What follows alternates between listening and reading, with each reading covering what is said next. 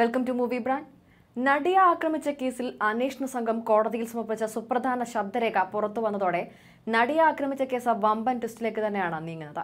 അക്ഷരാർത്ഥത്തിൽ കേസിനെ മാറ്റിമറിക്കുന്ന സംഭവം തന്നെയായിരുന്നു കഴിഞ്ഞ ദിവസത്തെ നിർണായക ട്വിസ്റ്റ്. എന്നാൽ ദിലീപിന്റെ സഹോദരൻ അനൂപിന്റെയും സുഹൃത്ത് നാദർഷയുടെയും വാക്കുകളിലെ പൊരുത്തക്കേട് പരിഹരിക്കാൻ അഭിഭാഷകൻ ശ്രമിക്കുന്നതിന്റെ ശബ്ദരേഖകളും പുറത്തായിരിക്കുകയാണ്.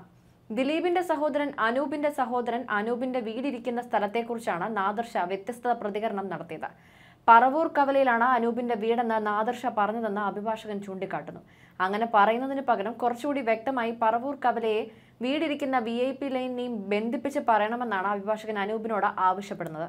പറവൂർ കവലയിലാണോ എന്ന് ചോദിച്ചാൽ പറവൂർ കവലയിൽ നിന്ന് മുന്നൂറ് മീറ്റർ മാറി വി ഐ പി ലൈനിൽ എന്ന് കൃത്യമായി പറയണമെന്നും അഭിഭാഷകൻ പറയുന്നു. നടി ആക്രമിക്കപ്പെട്ട കേസിൽ ദിലീപ് ജയിലിലായ ശേഷം ആലുവയിലെ പത്മസരോവരം വീട്ടിൽ നിന്ന് എല്ലാവരും പറവൂർ കവല വി ഐ പി ലൈനിലെ ഈ വീട്ടിലേക്ക് താമസം മാറിയിരുന്നു. ജയിലിൽ നിന്ന് ഇറങ്ങിയ ശേഷം ദിലീപ് എത്തിയതും ഈ വീട്ടിലേക്കാണ്. ജയിലിൽ നിന്നിറങ്ങി മൂന്ന് ദിവസം സംവിധായകൻ ബി ബാലചന്ദ്രകുമാർ ദിലീപിനെ കാണുന്നതും അനൂപിന്റെ ഈ വീട്ടിൽ വെച്ചാണ്. അനൂപിന്റെ വീട്ടിൽ വെച്ച് ദിലീപിന്റെ റൂമിൽ തോക്ക് കണ്ടു എന്ന ബാലചന്ദ്രകുമാറിന്റെ മൊഴിയുണ്ട്. അന്വേഷണ സംഘം നടത്തിയ തെരച്ചിലിൽ തോക്ക് കണ്ടെത്താനായിരുന്നില്ല. ദിലീപ് ജയിലിലായ സമയത്ത് അനൂപിന്റെ ഈ വീടായിരുന്നു ആലോചനാ കേന്ദ്രം. ഈ വീട്ടിൽ വെച്ചാണ് പല ഗൂഢാലോചനകളും നടന്നതെന്നും ബാലചന്ദ്രകുമാർ ആരോപിക്കുന്നു. അതേസമയം നടിയെ ആക്രമിച്ച കേസിന്റെ തുടരന്വേഷണത്തിന് ഹൈക്കോടതി കൂടുതൽ സമയം അനുവദിച്ചതോടെ ദിലീപിന് അതൊരു വമ്പൻ തിരിച്ചടിയായി മാറിയിരിക്കുകയാണ്. ഒന്നര മാസം കൂടിയാണ് ഹൈക്കോടതി സിംഗിൾ ബെഞ്ച് അനുവദിച്ചത്. മെയ് മുപ്പതിന് മുമ്പ് അന്വേഷണം പൂർത്തിയാക്കണമെന്നാണ് നിർദ്ദേശം. ഇനി കൂടുതൽ സമയം അനുവദിക്കില്ലെന്നും കോടതി വ്യക്തമാക്കി.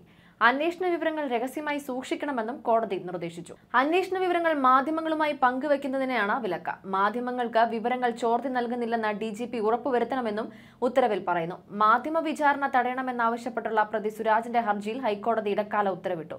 മൂന്നാഴ്ചത്തേക്ക് മാധ്യമങ്ങൾ വാർത്ത നൽകുന്നതിനാണ് വിലക്ക്. തുടരന്വേഷണത്തിന് മൂന്ന് മാസം അനുവദിക്കണമെന്ന ആവശ്യമാണ് പ്രോസിക്യൂഷൻ മുന്നോട്ട് വെച്ചത് വിശദമായ അന്വേഷണം അനിവാര്യമാണെന്നും ഡിജിറ്റൽ തെളിവുകൾ പരിശോധിച്ച് പ്രതികളിൽ നിന്ന് കൂടുതൽ വിവരങ്ങൾ ശേഖരിക്കണമെന്നുമായിരുന്നു ആവശ്യം. ചോദ്യം ചെയ്യലുകൾ പൂർത്തിയാക്കാൻ കൂടുതൽ സമയം വേണമെന്നും പ്രോസിക്യൂഷൻ കോടതിയോട് ആവശ്യപ്പെട്ടിരുന്നു. എന്നാൽ തുടരന്വേഷണത്തിന് സമയം നീട്ടി നൽകരുതെന്ന നിലപാടാണ് ദിലീപ് കോടതിയിൽ സ്വീകരിച്ചത്. കള്ളത്തെളിവുണ്ടാക്കാനാണ് പ്രോസിക്യൂഷൻ അന്വേഷണ സമയം നീട്ടി ചോദിച്ചിരിക്കുന്നത് എന്നായിരുന്നു പ്രതികളുടെ വാദം. കൂടുതൽ വാർത്തകൾക്കും വിശേഷങ്ങൾക്കുമായി ഈ ചാനൽ സബ്സ്ക്രൈബ് ചെയ്യുക.